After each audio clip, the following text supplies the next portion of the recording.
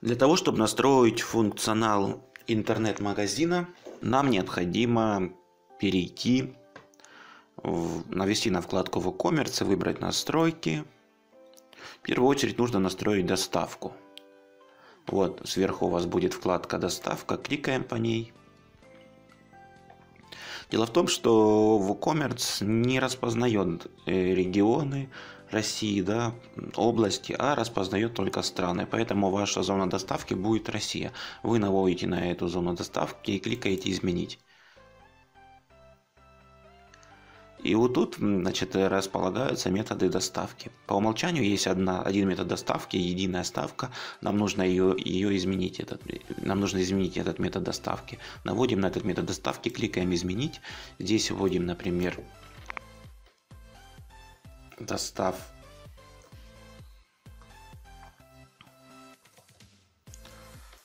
вот, доставка курьером не налогооблагаемый, да, и выбираем, там, грубо говоря, 300 да, рублей стоимость доставки и кликаем «Сохранить изменения».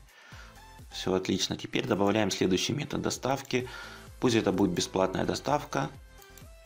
Да, и еще один метод доставки давайте добавим. Это будет самовывоз. Смотрите, и эти методы можно менять местами. Сверху вверх просто за вот так вот захватываем и вверх переносим. Это самовывоз и потом будет бесплатно. Вот так вот меняем. Заходим в режим редактирования самовывоза. Смотрим. Ну давайте ставим неналагаемый неналогооблагаемый метод, метод доставки и стоимость 0, то есть 0 рублей стоит самовывоз. Теперь бесплатная доставка. Также заходим в режим редактирования и требование у нас была сумма минимального заказа. Сумма минимального заказа у нас должна быть 10 тысяч. И тогда будет работать бесплатная доставка. Сохраняем изменения. Доставка курьером. Также у нас будет доставка транспортными компаниями и доставка Почты России. Кликаем «Добавить метод доставки» и вся, вся доставка, которая платная, она добавляется через метод «Единая ставка». Добавляем. Кстати говоря, вот эта доставка курьером нужно вот так вот, не с большими буквами, а с маленькими написать.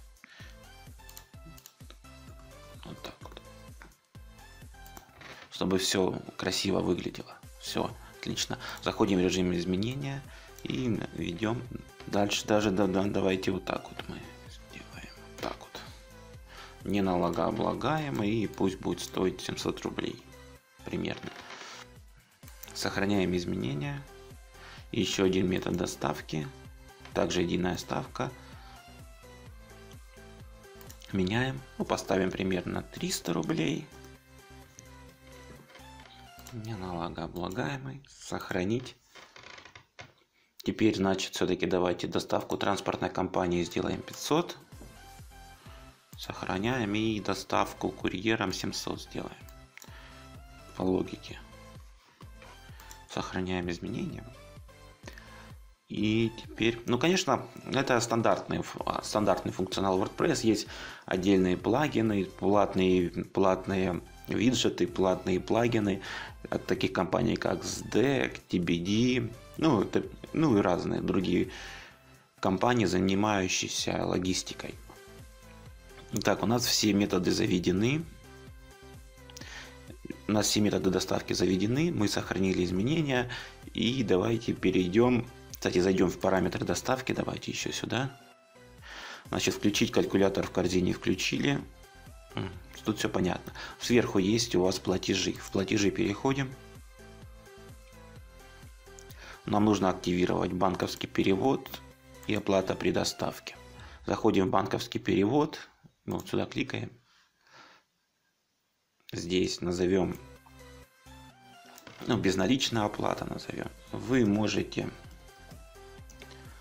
оплатить ваш заказ перечислением на нашу банковскую карту. Так, инструкция это та информация, которая будет выходить после оформления заказа. Также сюда дублируем сообщение.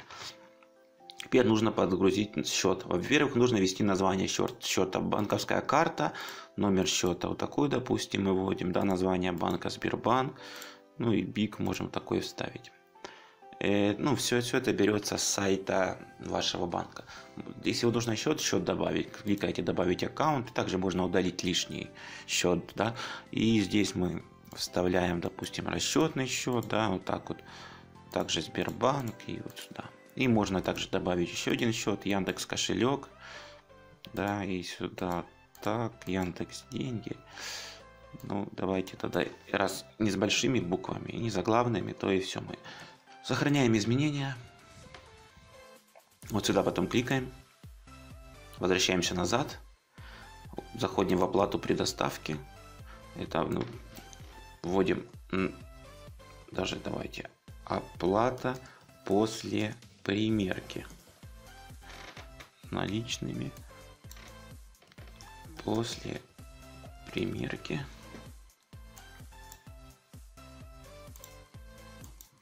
Должны ввести, вы можете оплатить свой заказ наличными курьеру наличными просто да, после примерки. И то же самое дублируем сюда. Теперь нужно выбрать те методы доставки, для которых подходит этот метод оплаты. Для этого просто кликаем сюда и выбираем нужные способы. Тут есть как ваши способы, которые вы завели, метод, ну, ваши методы доставки, так и шаблоны. Ваши методы доставки называют, начинаются с названия зоны доставки, то есть у меня это Россия. То есть для кого будет, для какого метода будет распространяться наложенный платеж. Ну, то есть плата после примерки, это доставка курьера, кликаем. Видите, он сразу сюда попадает этот метод доставки для удаления, кликаем по крестику. И дальше, видите, он уже выделен серым, серым цветом, потому что он добавлен. Допустим, доставка транспортной компании подходит. Так, для почты России он не подходит, потому что нельзя будет открыть. Э, бесплатной доставки подходит.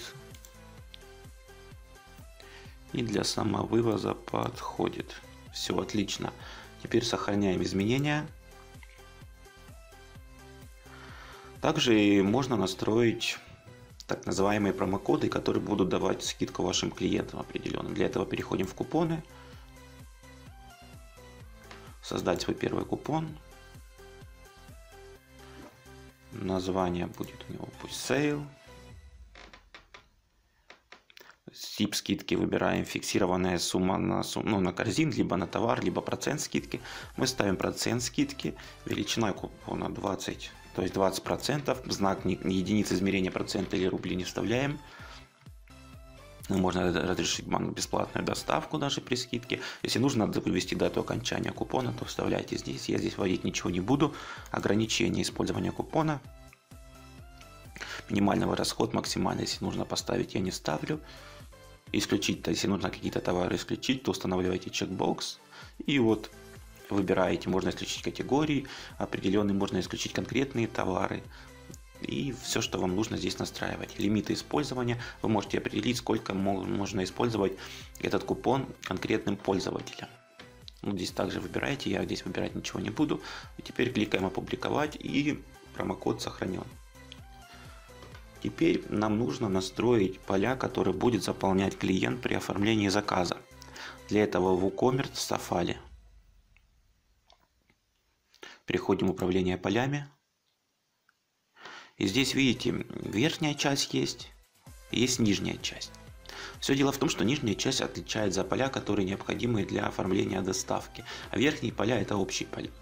Если, короче говоря, каждая из этих ниж... полей в нижней области, которые необходимы для оформления доставки, обязательно должны быть также верхних, в верхней части с общими полями. Но не каждое поле из верхней части с общими полями должны быть, должна быть в нижней области с полями для доставки. Это очень важно. Запомните это, потому что если получится так, что какого-то поля из доставки нет в общих полях, то тогда клиент не сможет сделать заказ, будет нервничать, будет выходить ошибка, он не, он не будет понимать, в чем дело, и в итоге вы потеряете клиента.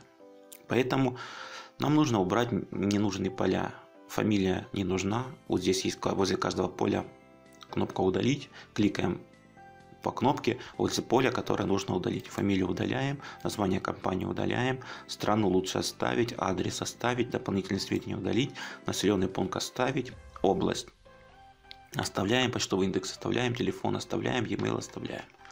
Так, значит, теперь можно их поперемещать. Значит, идет имя, страна, потом область, потом населенный пункт, потом почтовый индекс наверх. Видите, вы, вы, вы наводите курсор под поле, которое нужно перенести. В итоге зажимаете левую кнопку мыши, оно окрашивается в голубенький такой бирюзовый цвет, и вы переносите. Все, отлично. Теперь настраиваем доставку. Также фамилию убираем.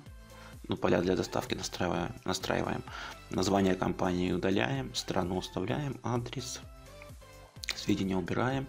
Населенный пункт под страну. Область над населенным пунктом. А почтовый индекс над населенным пунктом и адрес. Все отлично. Смотрите, если вы вдруг удалили ненужное поле, то есть кнопка «Восстановить поля по умолчанию», они снова все восстановятся. Если у вас все в порядке, то кликаем «Сохранить». Все, на этом настройка функционала интернет-магазина завершена. Нам нужно сделать еще одну такую штуку. Нам нужно сделать... Сейчас перейдем на сайт, я вам покажу. Нам нужно делать такую штуку, чтобы при прокрутке вот здесь ваше меню было зафиксировано. Для этого нам нужно получить ID-шник, индивидуальный идентификатор или класс вот этой шапки сайта правой кнопкой мыши. Но вам это не нужно делать, он у всех будет одинаковый. Я просто сейчас найду топ-хидер. Вот. Нам нужен must hit. Отлично. Теперь переходим в консоль. И здесь мы находим вот этот MySticky меню. То есть плагин, который сделает меню, ну, как бы завер... зафиксированную какую-то часть. И здесь мы вот где бар мы вот вставляем наш айдишник. Айдишник ставить начинается с решетки, вот must hit ставим вот так вот. И цвет мы ставим, давайте поставим липкий цвет фона вот такой серый и сохраним изменения.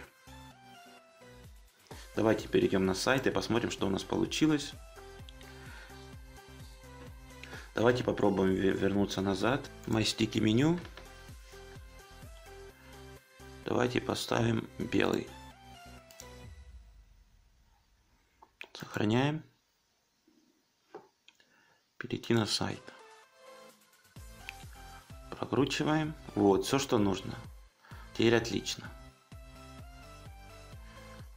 Давайте назад вернемся, уберем некоторую прозрачность. Вот. И вот тут, где 90, липкая непрозрачность, мы справа сдвигаем на 100, сохраняем изменения и переходим на сайт. Все отлично, теперь все прекрасно работает.